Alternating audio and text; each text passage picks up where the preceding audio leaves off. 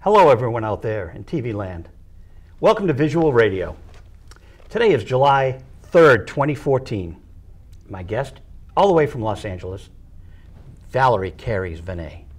Hi there. Hello, Joe. It's great to talk to you in person and not on the phone this time. I know. Yeah. It's wonderful to meet you. Finally. Yeah. Same here.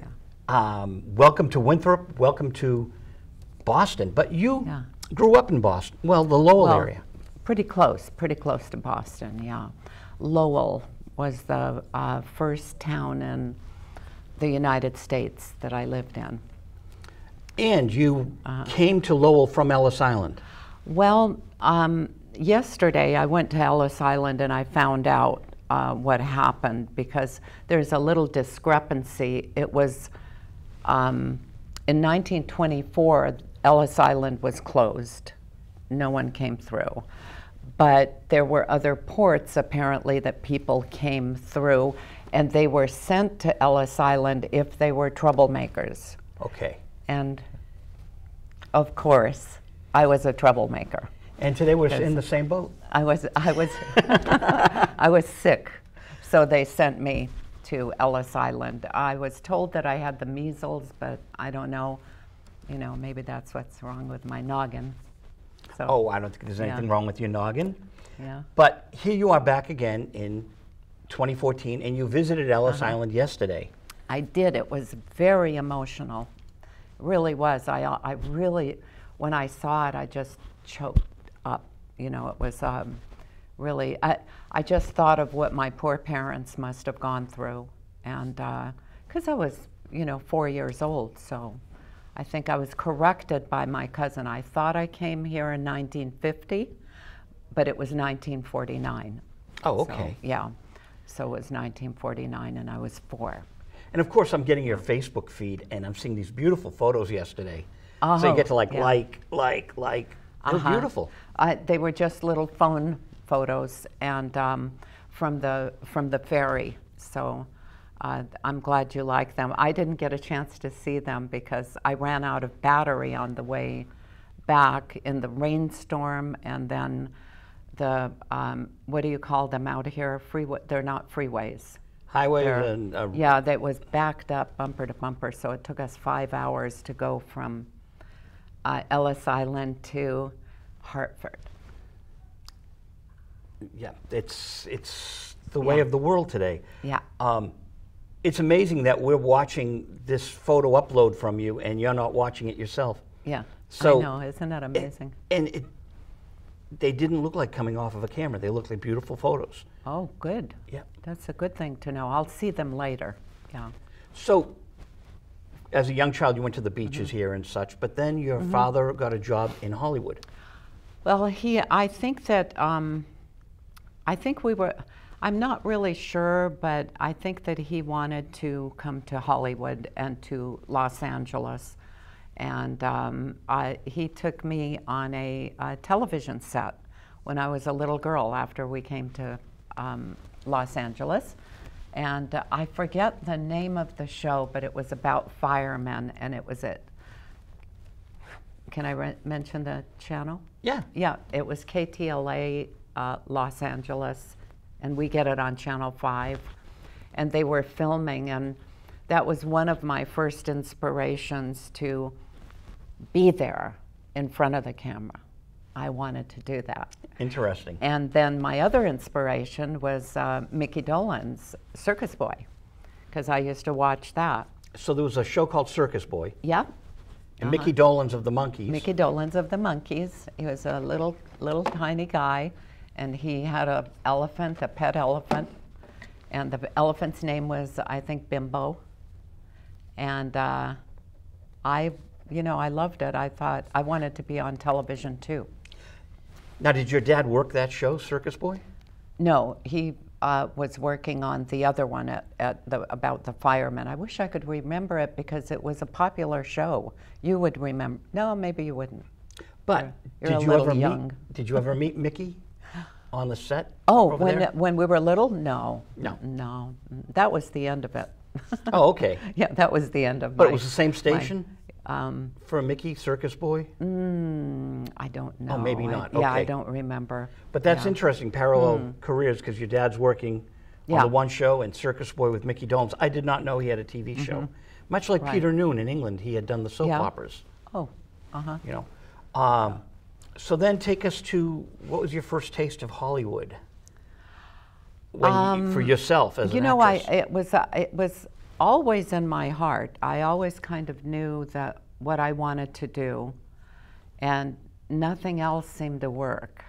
So, um, I was working downtown Los Angeles, and I was working modeling eyeglasses. It was a half day job uh, after school job I managed to get. And I was a receptionist. I think I was 16, um, almost 17 years old. And um, so I was working, I was at the front desk for modeling these eyeglasses for opticians. And I think it was a setup that one of the opticians brought in a friend of his. And uh, I was typing, and he said, Have you ever thought about being in movies? And I went, Well, yes. yes. And um, his father uh, turned out to be the head of talent at 20th Century Fox. Excuse me. So I had a lot of help, and I'm, I'm really, really thankful for it. Um, the man that discovered me, his name was Michael McLean. He was best friends with, uh, I almost said Jim Brolin, James Brolin. Oh, And um, uh, we used to double date and had a lot of fun. And um, we were all struggling actors. And uh, I just um, love those people, you know. so it's like in the Rock Hudson book, he says Lana Turner being found in a sweater shop, in a, in a um, ice cream shop, was a publicist's dream. But. Yeah. this really did happen to you. This it really really was the Lana Turner yeah. in the ice cream shop. It routine. really was, only it was eyeglasses. And uh, um, yeah, that's exactly what happened. I was just very, very lucky, you know. And then um, I remember Michael saying, Now don't be disappointed because there's a lot of actresses that, you know, come into Hollywood and they don't make it and they don't, you know, um, do anything. But lo and behold, I worked, you know, um, I, I learned a lot. I learned a lot with his help, and I uh, got to work with a lot of wonderful, wonderful people, little teeny parts, but I was on the set a lot. And so I learned what to do, you know. And you were around some major, major names. I was. Do you, do you remember your first movie? I do. The Hank Williams story, Oh, Mm-hmm. 1964, I think. Yeah. it must have been fun. It must have been exhilarating. Yeah. Yeah, 1964. So did you have to audition for it? No, um, they were so small parts that they were uh, really small parts, you know. But I was a nervous wreck. I remember I had to have my clothes just perfect. It was a 1940s, I think, setting, and and I was just a, a basket case. So, Interesting that it'd be a music picture, where music Oh. has always yeah, you're right. followed you You're right. your whole career. Mhm. Or I followed. I, yeah. Well, you've had this parallel music film path. I which is- have. yes. Yeah. Yeah. So after Hank Williams, what? Um, Throw some at us. well, I I worked on Hush Hush Sweet Charlotte. I worked on um, a movie called Dear Brigid with where I got to uh, meet uh, James Stewart, Mm. Glynis Johns, Billy Mumy, who I saw the other day, all grown up. Billy Mumy, was he in New Jersey? He was in uh, the Ca- at the California Bloodlines um, 45 year reunion. And Billy Mumy's uh, bloodliner. Yes. Now, And now he sings beautifully. Oh. boy, does he sing and play the guitar beautifully. And I just, you know, because he was so little tiny guy, when I met him, I just wanted to throw a receiving blanket around him, pick him up, and carry him around, but Now- I didn't. Yeah. I'll fast forward a little for our Okay. audience. Uh, John Stewart had the album California Bloodlines, Yes. And John Stewart wrote "Daydream Believer" for the Monkees. Yeah. Well, yes. He wrote it, He and wrote the Monkees- Daydream Believer, but they picked it up, They picked it up. and then they changed a word in it. Ah. But uh, John Stewart had this album, California Bloodlines. Um, was your husband involved with that album? Yes, he produced it. Nick Mm-hmm. Venet. Nick Venet. My old friend Nick Venet. I knew Nick before I met you Yes. Uh huh. through our mutual friend, Yes. Harriet Schock. Dear Uh-huh. Harriet's a guest frequently on the show by phone. Beautiful Harriet. I love her. I do too. She wrote the big hit for Helen Reddy, Ain't No Way to Treat a Lady. Uh huh. But she That's treats right. you like a lady, right? Oh, I just adore her. I'm going to see her when I go back. She has she's cooking chicken and pizza and we miss each other. So um, you know, we haven't seen it but you know, we get busy, everybody has their own lives and and we got separated, but we're going to see each other. We promised. I was over her house in 1991. It was May. She has a wonderful house, doesn't she? It might be a different one. 91, In um, 23 years ago. oh yeah, she's been there a long time though. Uh, off of Wilshire Boulevard. I don't remember. Let's see her address. is. I was with I was with the girlfriend of P.F. Sloan who wrote Secret Agent Man. Uh-huh. So Jamie and I went to see Harriet because Harriet was my friend. And Okay. well, actually, I met Harriet the day before. Now we're really good friends. But uh, no, I did. We weren't friends at the time. I met her at a convention. She invited me over to the house because I'm a huge fan. Yeah. I was a huge fan, Yeah. and we've become friends. And I met Nick Venet through Harriet. Harriet, yeah. Now I've met you. Yeah. But we have a mutual friend that you knew forever, Spanky McFarlane. That's right. Yeah. Spanky's um, uh, one of my best friends. And um, She's one of my best we're guests. very, very close. Yeah. Very close. She's one of my best guests. Yes? Oh yeah, Spanky's a great guest. we taped her in Connecticut. She was here oh, for the you did? Yeah. Oh, I didn't know that. Oh yeah, Harriet, Spanky, all your friends have been guests Oh, on my all show. All right, all right. You're the Johnny What Come took- Lately here. Yeah, what, t- what took me so long? Well, you've been on by phone. yeah, okay. Um, we're gonna go back to your career, but the Monkees. Okay. We, I, I found these. I got these free.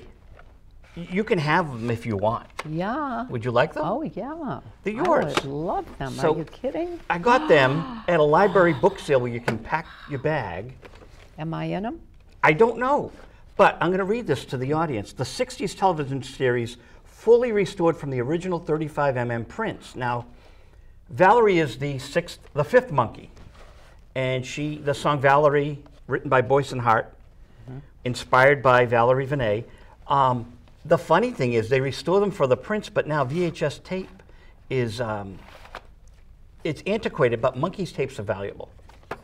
Yeah. And if you have room in your Well, I'd like to see them. I do. you know. Uh, I will make room. See, they were they called to me. You're at the library book sale and you pack it with books and CDs, and I said, "Oh, Valerie would love these." Uh-huh. I would love They them. You called to kidding? me. Thank you. Yeah, and so I knew exactly Yeah. where they were when you came to town. Oh, it's wonderful. and there's um, love it. two episodes per per. So there's ep- eight, Eight. There's a good chance you're in, Uh-huh. Good chance, yeah. but at least you have these um, these great mementos because VHS doesn't really, people don't really. They're on eBay and stuff, but you don't find them as much anymore. no, no, you don't. And I love. I, I love have a machine. Oh, good. At home. I'll have to Transfer them to DVD too. And, and I can transfer them right. Wonderful. Yeah, because they look like they're yeah. mint. And if they were Oh, okay. transferred from then the I original, Better, then I better. yeah, they look like, and and it's Rhino. You were just talking about. You were talking to your friends at Rhino. Uh-huh, yeah. These were on Rhino. I love it. Thank you. The fellow at Rhino said to you, or the woman. I will. um, I will. That the audiences are more sophisticated today, Yeah. meaning that they want to know every nuance of who worked on this. Absolutely. who Yeah, directed it. you can't fool the audiences anymore, which I- I, think is great because it, you know, uh, very deserving to, you know, mention all of the musicians, which I forgot my list to mention the musicians, mu- musicians that I was just with. Which was in New Jersey, or Connecticut. Where was I? Pennsylvania, Beavertown. Beavertown, Pennsylvania. Davy Jones. It was a. It's a. It's in a fairgrounds in Beavertown. That's where Davy lived. um, one of his places, and uh, that's where he had some horses. And that's where he loved that little town, and I can see why. It's a beautiful, beautiful little town. And um, we celebrate his life. And we also try to raise a little money for uh, to keep the herd going. Um, Davy's daughters are such wonderful people, and uh, they're taking care of, I think it's 15 plus horses. So that's a big uh, Oh, yeah. responsibility. And uh, so we Davy raise Jones a little family. money, and uh, yeah. His horses were his family. Yes, yes.